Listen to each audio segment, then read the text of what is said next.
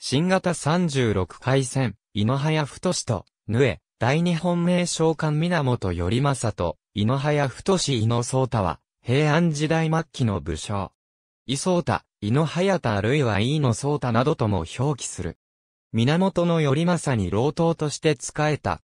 東海国井の花子星岩、または、大見国井の獅子花を漁したことからイノシシ花を名字としたという。また、ただ原始で父は、大太図八郎構成と言い、名は光直であったともされる。あるいはただし清とするものも見られる。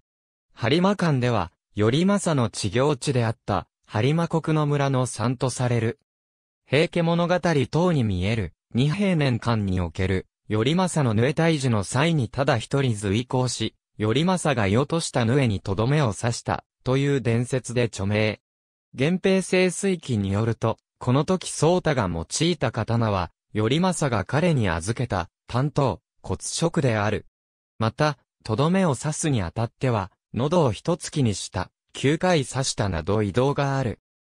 なお、江戸時代後期の儒者、しがり祭は、著書、理祭随筆において、ヌエ大寺伝説は頼政が、まじないのため司法にかぶら屋を放ったのが実態で、あるとした上で、井の早太の名とヌエの、いわゆる、頭は猿、胴は狸、尾は蛇、手足は、虎という奇怪な姿と関連づけ、それぞれ、頭が猿イコール羊猿、尾が蛇イコール辰巳、手足が虎イコール牛虎、井の早太イコール犬を意味する年、方角を埋め合わせるため彼の名を入れた、という推察を行っている。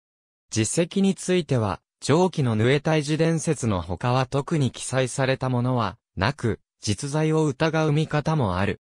なお、自称4年、持ち人王の挙兵敗退をもって頼政が自害した後の井の早太子の動向については、以下のように全国各地に伝承がある。このほか、極帝馬金も自らの先祖として、井の早太子に強い関心を抱いていた。福島県にて、井の早太氏をモチーフとした郷土玩具が存在しており、2018年に刊行されただるまちゃんとは、やたちゃんにてその玩具をモチーフとしたキャラクターが登場している。ありがとうございます。